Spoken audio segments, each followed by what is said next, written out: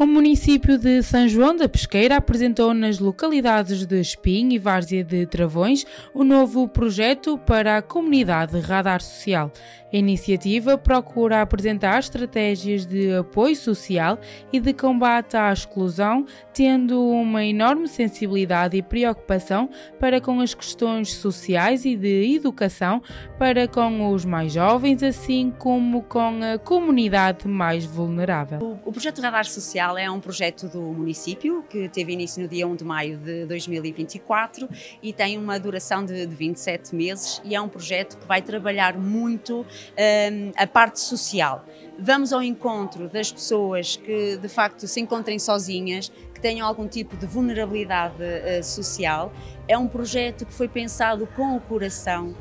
para fazermos companhia, para darmos um abraço às pessoas que mais precisam e de facto no nosso Conselho, infelizmente, ainda existem muitas pessoas sozinhas em isolamento e nós estamos aqui para as abraçar e para as acolher. Radar Social, de facto, é um, é um projeto que tem financiamento europeu, falamos no PRR, é um projeto a nível nacional que os municípios uh, têm. Uh, como referiu o seu vice-presidente, e bem, temos o orgulho, de facto, deste projeto, desta equipa, ter já o plano de ação todo preparado, estar já a ir para o terreno e, na verdade, do que se trata uh, é de facto de ir ao encontro, vá lá, de uma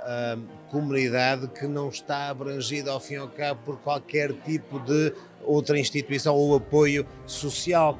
Nós pensamos muitas vezes que, e conhecemos algumas pessoas eh, que, que vivem bem, até, obviamente que isto não tem idades, mas pessoa reformada, que ainda tem a sua reforma, que tem a sua casa bem arranjada, que vive bem, mas muitas delas sentem-se isoladas sinceramente isoladas. E é isso que se pretende ir ao encontro dessas pessoas e oferecer-lhes qualidade de vida. O projeto vai uh, às freguesias todas. Aliás, quero dizer-lhe que o projeto Radar Social podia muito bem cumprir os seus objetivos, que foram definidos uh, em termos do projeto vá lá europeu, uh, mas não, está a ir um bocado além daquilo que, que, que é verdadeiramente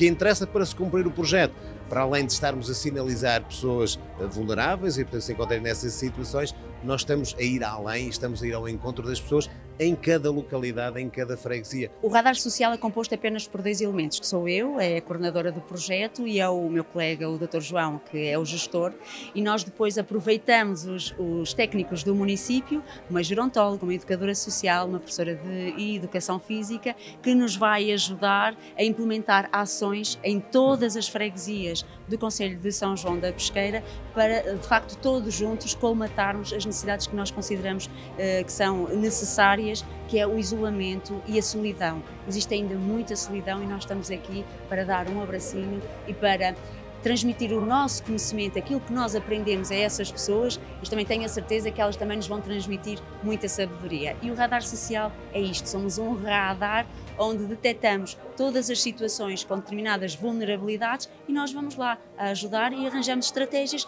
fazemos encaminhamentos, estamos aqui para ajudar e tornar as pessoas ainda mais felizes. Mesmo de coração, um projeto de coração é exatamente isso: é, é, é agir com base naquilo que o coração nos diz.